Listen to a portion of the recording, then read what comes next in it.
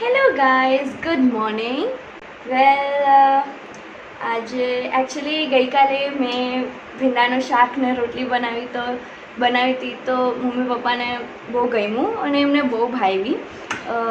Actually થોડી બળી ગઈ હતી થોડીક શેપમાં નહોતી અમુક પરફેક્ટ હતી, એકદમ એકદમ ગોળ હતી, એકદમ મસ્ત બની હતી. તો મમ્મી પપ્પા બહુ ખુશ થયા મારાથી. અને ભીંડાનું શાક બી બહુ જ સરસ બન્યું હતું. એવું મમ્મી પપ્પા કહેતા હતા. તો વેલ હવે આજે શું બનાવું છે એ મમ્મા જોડે ડિસ્કસ કરીને પછી નક્કી કરવાનું છે. અને ગઈકાલે તો બહુ જ સરસ થયું. ઇટ્સ લાઈક કે સાંજે કૃતિ આંટી અને પર્યંક અંકલ આવ્યા.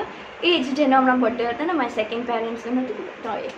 તો એ લોકો ગઈકાલે આવ્યા હતા એન્ડ સરપ્રાઇઝિંગલી એમને કીધું, એમને કોલ એન્ડ કે કે હું અડધી પોણી કલાકમાં આવું છું. લાઈક વોટ આવો આવો અને પછી સરપ્રાઇઝિંગલી અમે લોકો ત્યાંથી પિઝા ખાવા ગયા.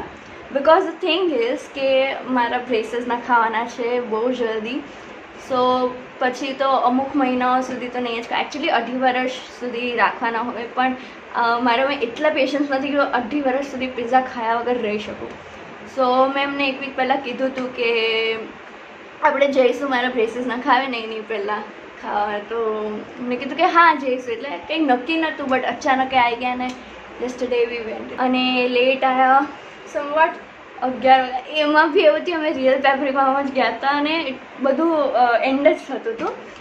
બટ અમે નાઇન ટ્વેન્ટી સમવટ ગયા ને અગિયાર વાગ્યા આસપાસ આવ્યા ઇલેવન ટેન સમવટ પછી ત્યાંથી હું નીચે ગઈ હતી રમવા, મારા ફ્રેન્ડ્સ જોડે.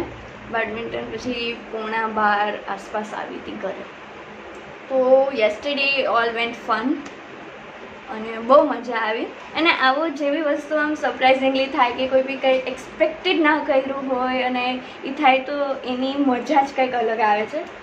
તો that was good yesterday went very nice hey guys good morning good morning well આજે બહુ ટાઈમ પછી હું ને મારી ફ્રેન્ડ સાયકલિંગ કરવા ગયા હતા. એકચ્યુઅલી એ વસ્તુ એવી હતી કે બહુ ટાઈમથી જવું હતું પણ મેળ જ નહોતો પડતો, કારણ કે વહેલું જ નહોતું ઉઠાતું.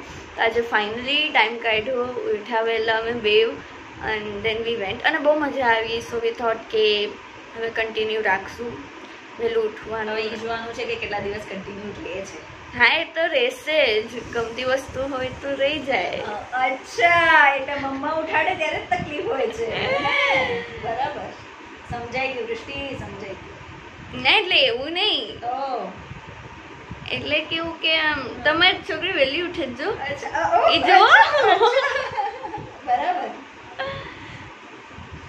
તો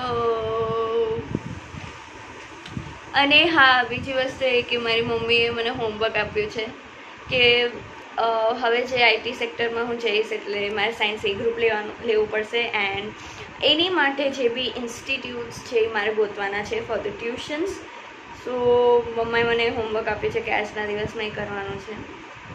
તો તમે લોકો બી મને સજેસ્ટ કરો કે which are the best institutes in Ahmedabad for taking science group A so that મને બી થોડા નવા ઓપ્શન્સ મળે. સો આજે એ જ કરવા basically for preparing for JEE JEE so see એટલે આપણે ઇલેવન્થ અને ટ્વેલ્થનું ટ્યુશન નથી રાખવાનું. આપણે જેઈ માટેના ટ્યુશન એટલે મમ્માએ જેઈના ટ્યુશન્સમાં ઇલેવન્થ અને ટ્વેલ્થનો જ આઈ ભણવાનું know with some advance course I know હા તો બસ એ જ. છે હેલો ફ્રેન્ડ્સ ગુડ આફ્ટરનૂન કારણ કે સાડા બાર વાગી ગયા છે અને આપણે બોસ ગયા આવી ગયા છે ઘરે. અને જેટલી અત્યારે કામ કરે ઓફિસ અને વૃષ્ટિને ટાઈમ પાસ કરે છે વિથ ક્યાં ગયા? આ બધી આટલી બધી નેલ પોલિશ છે ને એના અને હું છે ને પેલા જીમમાં બહુ જ બધા ફોટા પાડ્યા. મેં તમને કીધું કે સરસ સ્ટોકમાં હું ફોટોઝ બધા અપલોડ કરું છું. અને ખાસા મતલબ વન ફોર્ટી સિક્સ જેટલા ફોટોઝ થયા છે અને બીજા નવ જેટલા ફોટો મેં દીપાએ અપલોડ કર્યા છે. અને કારણ કે ડીપલી ને કરે છે કારણ કે ટાઇટલ ડિસ્ક્રિપ્શન બધું નાખવાને મને જોર આવે ભાઈ ફોટા પાડી દો તમારે જોઈએ ને એટલા ફોટા રમ રમાટ પાડી દઈએ આપણે. પણ આ બધું અંદર લખવું હોય સાહેબના એસિસ્ટન્ટ તરીકે કામ કરીએ છીએ સાહેબ ફોટા પાડીને આવે બેક ઓફિસ કામ બધું મારે દૃષ્ટિએ જ કરવાનું એટલે પેલા બી હું એન્જલમાં હતો ઇન્ડિયા બુલ્સમાં હતો એચડીએફસી બેંકમાં હતો. ત્યારે આ ફોર્મ બધા ટીપલી ભરતી હતી કારણ કે ક્લેરિકલ વર્ક છે ને આપણને ગમતું નથી. આપણે ફિલ્ડ વર્ક વધારે ગમે છે. સો એટલે મને એવું જ ફાવે છે.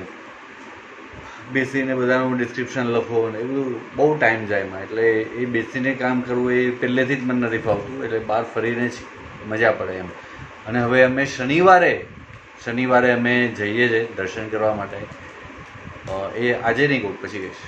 ક્યાં જઈશું ને એ તમે ગેસ કરીને કમેન્ટ કરો કે ભાઈ ક્યાં જઈશું? દર્શન કરવા. પાંચ છ કલાકનો રસ્તો છે. કહેજો. અને જે મેં જે જેમને મેં મોઢેથી કહી દીધું છે ને કે ભાઈ ક્યાં જવાનું એ લોકો કમેન્ટ ના કરતા ભાઈ મજા નહીં આવે. હા ભાઈ આ લુચા વહી જાય.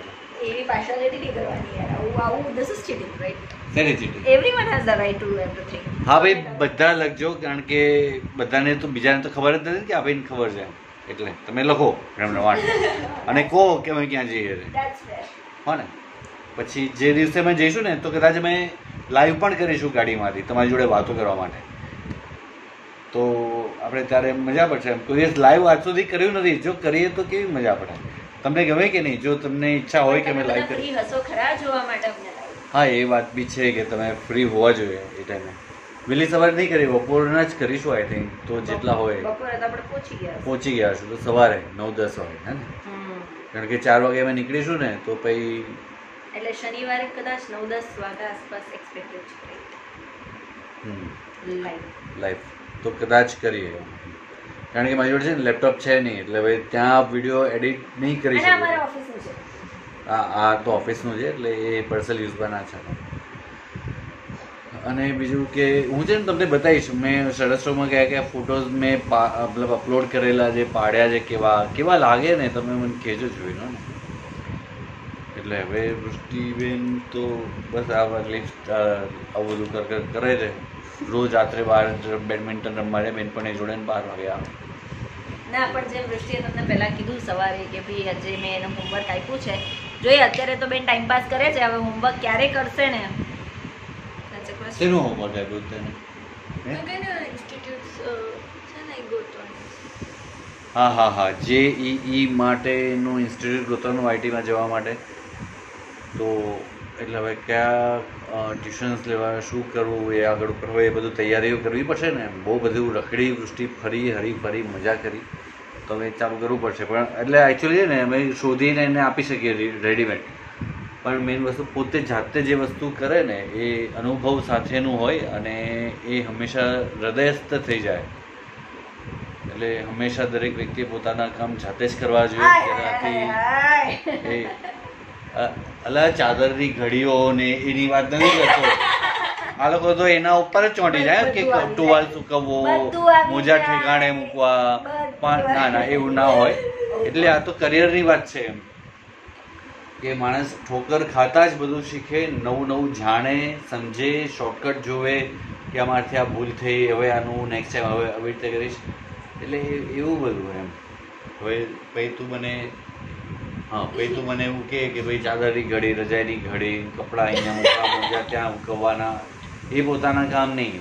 એ એવી પોતાના જ કામ એવા પોતાના કામ નહીં. હવે જે જ્યારે એકલા હોય ને ત્યારે નગર લગ્ન કરવાનો મતલબ જ છું બધું પોતે જાતે જ હોય.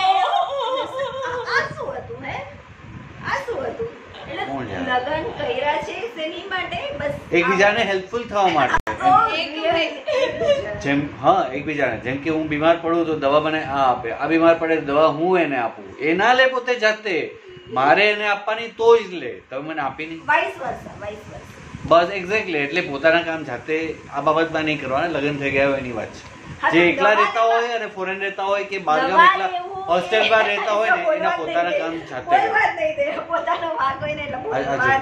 ઋષિ હા હા હા બહુ ચાંપ લેવાની તારે બધા કહે તાર નખ રંગ્યા ને તે દેખાડવા જેવા નથી ના એવું ના કરે. બતાય ના છે. ના ના ના ના તેવા કામો જ શું કરવા કરે કે? અરે, જે નો કરે અરે એક્ચ્યુઅલી બરાબર શેપ કરવાના હતા પણ તો મમ્મીએ જેવા થયા હોય એટલે બધા ચલ આટલા બધા કલરો લઈને બેઠી રહી તું. બરાબર અને કઈ જંગ્યું નહીં બધા ના. બતાય.